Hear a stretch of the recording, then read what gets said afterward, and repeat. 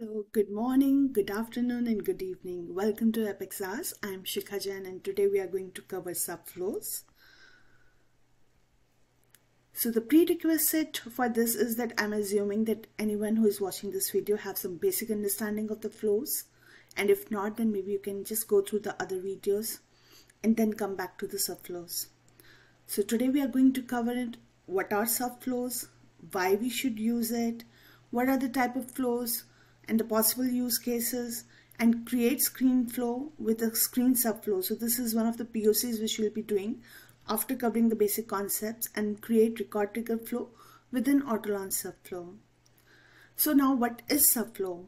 So assume that that you have are having a main flow and you are thinking that you have a repetitive logic which you have to take out uh, as a modular repetitive logic which you want to use across the flows. So that is the ideal thing that we can take it out uh, from the main flow and create that as a subflow. So it has an input for sure for, uh, you know, every subflow will have an input when you're calling from the main flow. But it depends uh, like whether you want to return something or not, or you just want to do some processing and get over with it. So not all the subflows need to return as an output something, but it will definitely need an input for sure.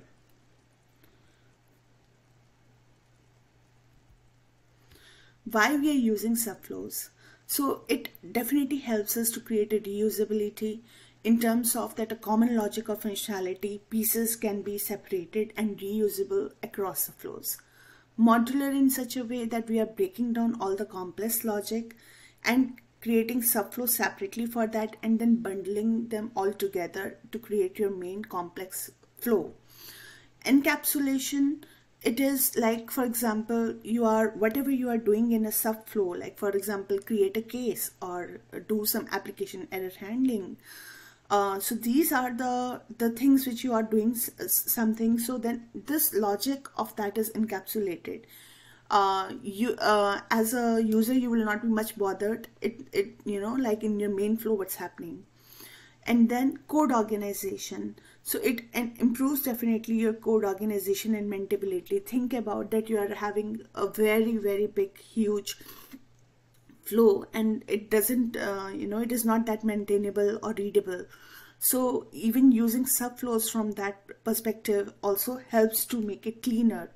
We know that okay we are calling this subflow for this functionality so it becomes more clean by separating the logics rather than creating one main big flow. Uh, and then sharing across the flows. So this is one of the main feature which I think is that any repetitive logic, as I said earlier, is like which is modular and reusable and it can be used across the flows. So you create one flow once rather than creating that piece again and again in all your flows and you can use it across here all the flows. Now the use cases. Now, for example, uh, we have a screen flow and where we take the inputs uh, like in a survey feedback form uh, and we are doing it repetitively. Uh, like, is it something that we want to create the screen in all of our uh, screen flows if the if we need that kind of screen for always? Sorry. So maybe we can take that piece separately and create a screen subflow for that and then we can call that screen subflow in our other screen flows wherever we need that uh, screen uh, again and again. Similarly, for example, for lead qualification, uh, if you are creating any screens for the lead qualification and capturing the lead inputs, then maybe we can create, uh, you know, separate that lead qualification form separately and just call it from your other screen flows, from your main flows. So these are the examples. One main thing which we have to be careful about the screen flow. If you're creating a screen flow subflow, like a subflow as a screen flow, then remember that, that you can call it only on the screen flows. If that flow is a screen flow, you cannot call it from the record trigger flows. You can call like auto launch flows from the record trigger, but not the screen flows if, uh, if you need screen to be called within screens then then that is where we would need screen flows as subflows. In all the other cases we can use auto launch flows because that's the beauty of the auto launch flows that it doesn't need any trigger it doesn't need any inputs.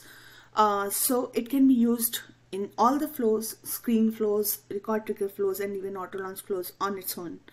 So we can use auto launch flows as subflows wherever we need uh, any business logic or you know any handling.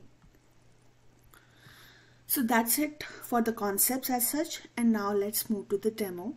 Today we are gonna create uh, a screen. So now let's uh, come to our Salesforce org and let's uh, um, see how to create a screen flow uh, and a subflow screen flow which we can call from the screen flow.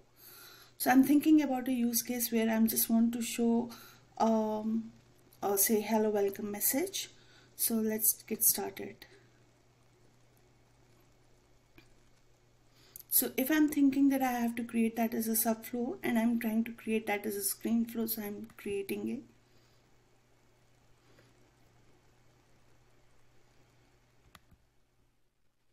So here, so first of all, since I will be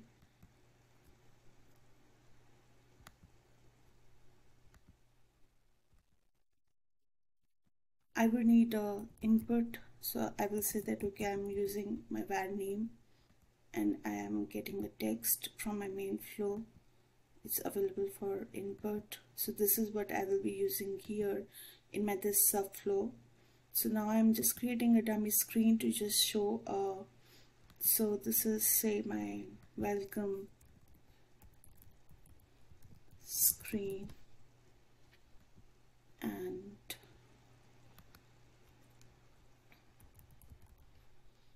and here we are just going to show okay display text.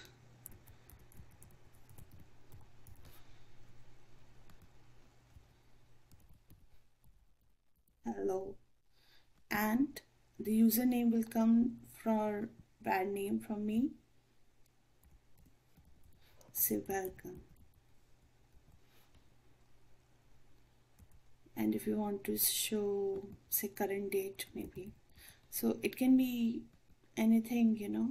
Like you want on on your this screen which you want to show. I'm just showing this uh, welcome message for now just to just a very basic uh, screen flow as a subflow. Uh, but it can be a very big screen where you are taking a lot of inputs like a survey form or so. That can also be encapsulated as a subflow so this is just we are taking like one input and we are showing that. We are processing that in our subflow and doing that logic and we'll show that in the main flow. So now let's save it. So this is a subflow. Then I can say that it's a subflow. Welcome message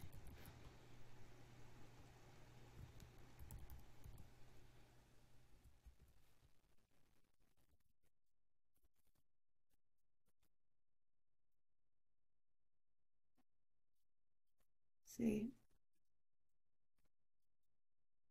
and uh, I'm also activating it right away because I have to use this in my other flow. So let's get into our main flow. So now I'm calling this as a screen subflow remember? Then I can call it only in the screen flow. So I'm creating that in the screen uh, one more screen flow which is my main flow. So here I'm having screen where just I can take say for example name. And you can have other fields also like phone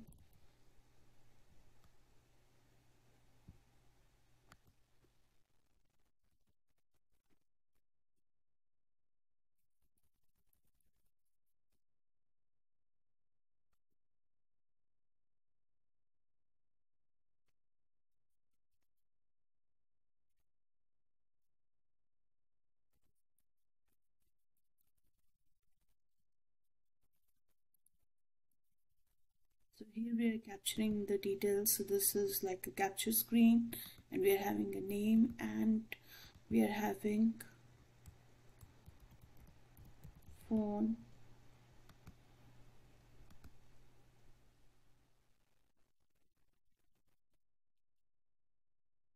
I don't need anything uh, other than just next or finish so I can just hide previous and say hide pause.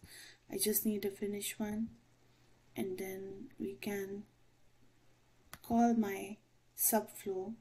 So I've already activated it. Remember that whenever you're trying to call a subflow it's activated only then. It will show here. So we are saying subflow.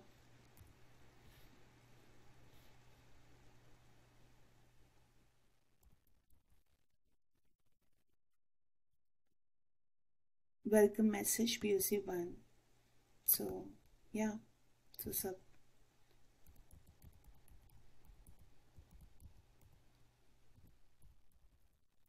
so we can give a name here and we have to give a name here and we have to just pass whatever we are taking in our this name. So I will just say that okay var name? Dot say first name. And that's we are gonna pass it and say let's save it. And now we are saving our main flow and uh, and I will call it like a main flow welcome um, POC 1 so now let's debug it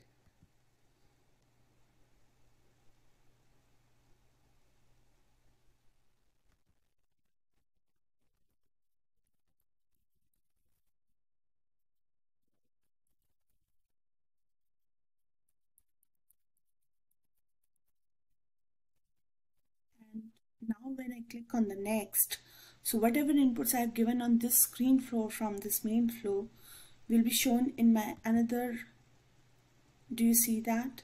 So hello Shikha welcome. And if you come back to my this flow then I have not created any screen where I'm showing a welcome message here.